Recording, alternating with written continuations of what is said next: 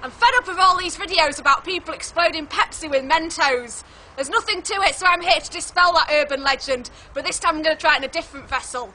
Me. Right.